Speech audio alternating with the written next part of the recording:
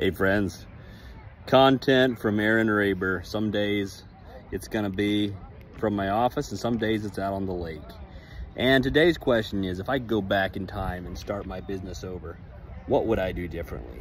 Number one thing I would do is to find my strengths and my weaknesses and have someone else do the things that I'm not good at. I do that a lot quicker. Uh, the bookkeeping, the numbers, that angle of business, I get bogged down in that really quick. And I recently hired a CFO to help me in that portion of my business.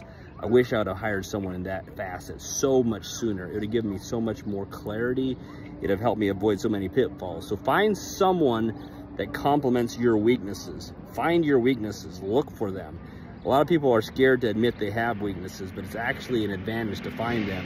And from that point, you can really, really find people to fill those holes and make an incredible team. Have a great day.